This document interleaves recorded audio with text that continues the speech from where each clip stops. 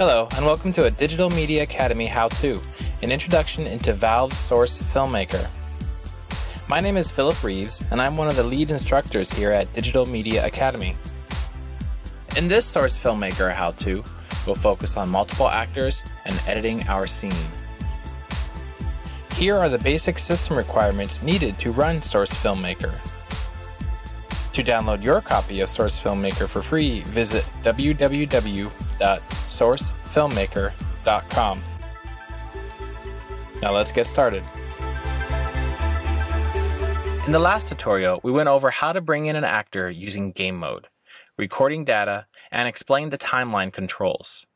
Now it's time to expand on our scene by bringing in another actor and begin the editing process.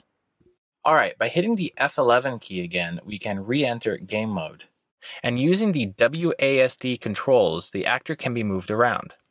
Now, I want my second actor to look differently from the first. And by hitting the period key, a menu with doors pops up. Because we already have a blue character, let's click on the red door. And you'll see a list of characters pops up. I'm going to choose the medic. All right, so now that we're in game mode, there's one more control I didn't go over in the previous tutorial, and that's using the scroll wheel to change the type of item the character is holding. If you remember in the last how-to, we want to have the second actor looking at the first actor on the log, back by the tires here. Don't worry about the old actor being on the floor right there. He'll disappear and he won't get caught in the recording. Once you position the actor, hit the F11 key to exit game mode. Remember, we won't see the medic yet. That's because we don't have any recorded data. So why don't we record some data? Hit the record button. You'll hear a series of four beeps, the fourth meaning action. Let the other actor's animation play out, plus a little bit more just for safe measure. And when finished, hit escape. We can now see both the actors. Now that we have everything set up, let's begin editing our scene.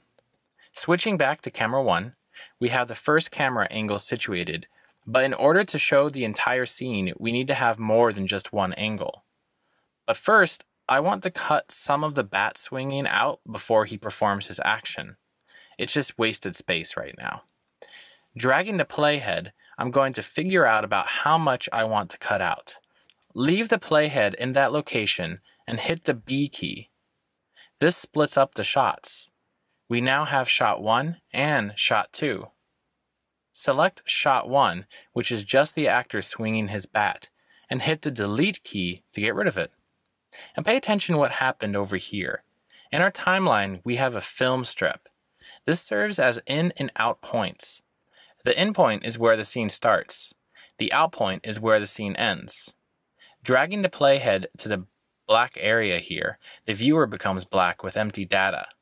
So to change the out point, just drag the mouse over here until the cursor changes. Click and drag to the end of the shot. And that's it. We set our out point.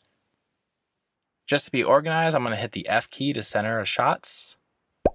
Alright, the first camera angle is set and ready. Let's create the others. Grab the playhead and drag it to the location you want a camera cut. Hit the B key to split up the shots. Select shot 3. Click on the camera's arrow over here. Change scene camera. New camera. Notice that camera 2 is now selected. Make sure you have the proper camera selected. We don't want to accidentally displace camera 1.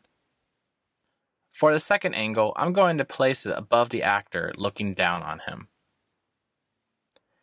Never feel that you're stuck with a certain camera angle. At any point throughout your movie making process in Source Filmmaker, you can always change camera position. Which I think is really cool because when you're filming a movie traditionally, once you film a shot, you are stuck with that angle. But in Source Filmmaker, you're always free to change it up. I'd say that's a good position for now.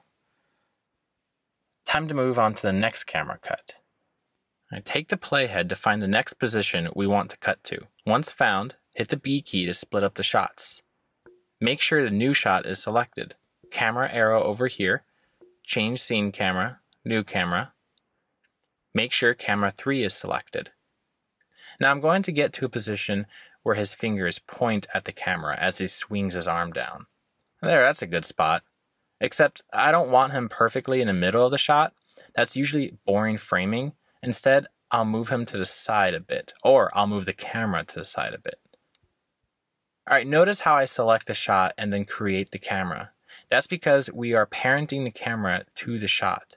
If you ever lose that parenting, just select the shot, then select the proper camera to go along with it.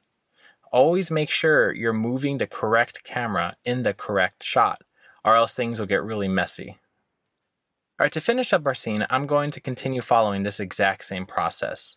So to save some time, I'm going to jump ahead to what the final scene will look like. And here it is. Now as we watch our final scene, let's do a quick recap. The work camera is like a director, seeing everything in the scene.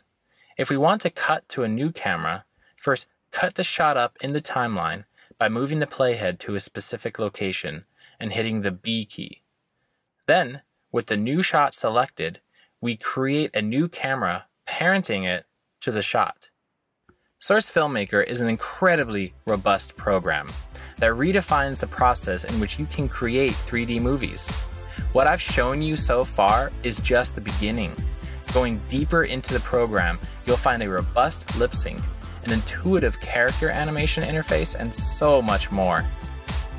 Also, if you're interested in learning more about Source Filmmaker, check out the hands-on course Digital Media Academy is offering, in which you'll learn all there is about Source Filmmaker and create your very own short film. To learn more, visit www.digitalmediaacademy.org.